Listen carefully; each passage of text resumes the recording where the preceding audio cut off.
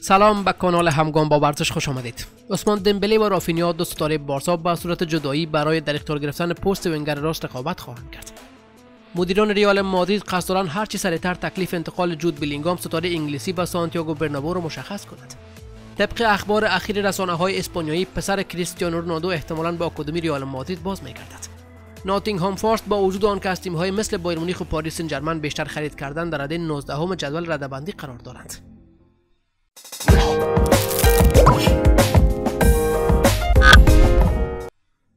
بارسلونا روز شنبه با دیدار برابر اسپانیول بار دیگر رقابت‌هایش را پس از پایان وقفه برگزاری جام جهانی 2022 قطر از سر خواهد گرفت. دمبله این فصل تحت هدایت جوی در 11 بازی به میدان رفت 4 گل به ثمر رساند و 5 پاس گل نیز برای دیگر بازیکنان بارسا ارسال کرد تا نقش مهم در صدرنشینی این تیم ایفا کرده باشد. این در حال است که رافینیا که با هیاهوی بسیار به بارسا پیوست فقط 6 بار موفق شده است در ترکیب اصلی این تیم به میدان برود و هنوز نتوانسته درخششی که از او انتظار می‌رفت را به نمایش بگذارد. این دو بازیکن به صورت چرخشی توسط جاوی به کار گرفته شدند و گاهی یکی از آنها را سمت راست و دیگر در سمت چپ به میدان رفتند. اما حالا روزنامه آیس خبر داده که هر دوی آنها به جاوی اعلام کردند که دیگر تمایل به بازی در پست ونگر چپ ندارد. ظاهرا این مربی کاتالان ترجیح می‌دهد که از دمبله در ترکیب تیمش استفاده کند اما حالا دیگر وقت انتخاب رسیده و این تیم باید از بین این دو بازیکن یکی را برای این پست برگزیند و این موضوع ممکن است باعث دردسر آنها شود چون با نیمکت نشینی یکی از این دو نفر همراه خواهد بود. درخشش بلینگام در ترکیب دورتموند و تیم ملی انگلیس باعث شده که بسیاری از باشگاه های بزرگ اروپایی در فکر جذب او باشد رسانه های انگلیسی و اسپانیایی در روزهای اخیر از علاقه جدی منچستر سیتی، لیورپول، ریال مادرید و جذب او در پنجره نقل انتقالات تابستان 2023 خبر داده بودند اما شاید این انتقال زودتر از آنچه که انتظارش را داشتیم رخ دهد. سران ریال مادرید از علاقه دیگر باشگاه ها و رقابت سخت برای جذب وجود دارد خبر دارند و همین باعث شده که مذاکرات با نزدیکان این بازیکن سرعت بگیرد و سران دورتموند هم از این موضوع خبر دارند این باشگاه اسپانیایی از این موضوع مطلع است که دورتموند اجازه جدای بلینگام تا پایان فصل جاری و 3 جون 2023 را نخواهد داد اما قصد دارد پیش از این تاریخ توافق نهایی را با این بازیکن و سران دورتموند انجام دهد تا نگرانی از بابت از دست رفتن او نداشته باشد. آنها بیشتر از یک سال است که با این ستاره انگلیسی در تماس هستند. از او خواسته بودند که صبور باشد. قراردادش را تمدید نکنند و منتظر فرصت مناسب برای حضور در برنابو باشد و حالا این فرصت رسیده است. اما پیشنهادهای جذاب دیگر تیم باعث شده که حالا همه چیز در دستان بلینگام باشد. او است که باید تصمیم بگیرد که آیا همچنان مشتاق پوشیدن پیراهن ریال مادرید است یا قصد دارد فوتبالش را در باشگاه دیگر ادامه دهد. اگر پاسخ نهایی او مثبت باشد ریال مادرید آماده است تا هر چه زودتر کارهای انتقال بلینگام را انجام دهد و او را به صورت رسمی به خدمت بگیرد. در حالی که لیگ های معتبر اروپایی آرام آرام در حال شروع شدن هستند آینده کریستیانو رونالدو همچنان در حال ابهام قرار دارد. ستاره پرتغالی بعد از فسخ قرارداد با یونایتد جام جهانی موفق را پشت سر نگذاشت و حالا گمان ها درباره تیم آینده او جز مهمترین اخبار رسانه ها به شمار می رود. خیلی حال نصر را تیم بعدی رونالدو می‌دانند ولی آنچه مشخص است آینده این بازیکن 37 ساله کماکان به یک راز بزرگ میماند. با این وجود اما آینده پسر بزرگ این فوق تقریبا روشن است. کریستیانو جونیور تا چند سال اخیر در تیم های حضور داشته که پدر در آنها بازی می‌کرد. او سابقه بازی و درخشش در ریال مادرید یوونتوس و منچستر یونایتد را دارد. پسر رونالدو که 14 سال سن دارد روز گذشته به رئال مادرید برگشت و قرارداد 4 ساله امضا کرد. این در حال است که تکلیف پدر او هنوز مشخص نشده است.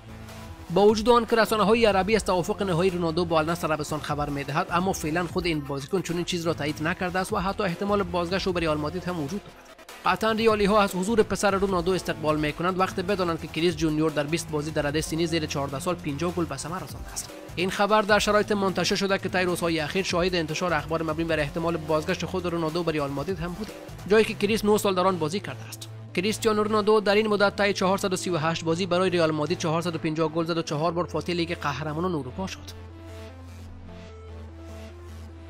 پس از hijack کودی گاکپو به دست لیورپول حالا منچستر یونایتد سه گزینه نقل انتقالاتی را هدف قرار داده است. با پیوستن این بازیکن هالندی به تیم یورگن کلوب شیاطین سرخ اصرار دارند که تمرکزشان را روی پنجره نقل انتقالاتی تابستان بگذارند گاکپو هدف بلند مدت انتقال ریک تنهاق سرمربی یونایتد بود اما لیورپول با هوون برای انتقال این بازیکن هلندی به توافق رسیده است. علیرغم پیوستن گاکپو به سرسختترین رقبای منچستر این تیم در ماه آینده و در بازار نقل انتقالاتی یک مهاجم را به خدمت می‌گیرد. اما به احتمال زیاد به جای قرارداد دائمی بازیکن را به صورت قرضی جذب می‌کند. یونایتد با پرداخت 230 میلیون پوند در تابستان گذشته بعید به نظر می رسد که دوباره در پنجره نقل انتقالات جنوری خرج زیاد انجام دهد زیرا بازیکنانی که مد نظر این تیم جذبشان در میان فصل سخت و دشوار است. مجله میرور در گزارش نوشته است که یونایتد برای لیاو مهاجم میلان و تیم ملی پرتغال و دوشان ولا هویج مهاجم سربسانی یوونتوس و گونجالو راموس و طالب بنفیکا که در جام جهانی برای پرتغال هتریک کرد نگاهی ویژه‌ای دارد. با صحبت های جان مورتو مدیر ورزشی و دان فلچر مدیر فنی یونایتد تنها این مسئله را پذیرفته است که پست شماره 9 در جنوری غیر فعال کند چرا که آنها برای تابستان گزینه های بیشتر را در اختیار خواهد داشت. با جدایی رونالدو و محرومیت میسون گرینوود یونایتد در خط حمله گزینه های زیاد را در اختیار ندارد. تن هاخ پس از پیروزی دو صفر یونایتد در دور چهارم جام اتحادیه مقابل برنلی نیاز یک مهاجم را تایید کرد اما گفت که حاضر نیست به خاطر جذب یک بازیکن جدید حضور هر گزینه‌ای را در تیم قبول کند. به نقل از دیلی میل ناتینگهام فارست در تابستان 2022 بازیکن جدید جذب کرد تا پس از صعود به لیگ برتر جایگاه خود را تثبیت کند. این باشگاه بیشتر از بایر مونیخ یا پاریس سن پول خرج کرد اما تاکنون موفقیت نداشته است و تیم او در منطقه سقوط قرار گرفته است.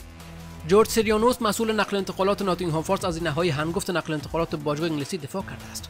او در مصاحبه با اشپیکل گفت لیگ برتر قوی ترین لیگ جهان است و شما بدون برنامه سرمایه گذاری مشخص شانس برای ماندن در این لیگ ندارید.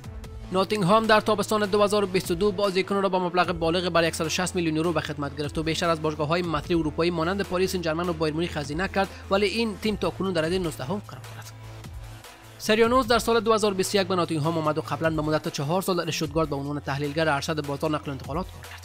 او در انتقال تایو اوونی از یونیون برلین مانگالا از اشتوتگارت موسی نیاخاته از ماینز و عمر ریچاردز از بایر مونیخ به ناتینگهام نقش داشت و خیلی ها فکر می‌کردن ناتینگهام با این خریدها بتواند حرفای زیاد برای گفتن داشته باشد. ولی تا کنون که شرایط این طور نبوده و شنبه شب نیز این تیم در لیگ برتر در زمین یونایتد با سه گل بازنده شد.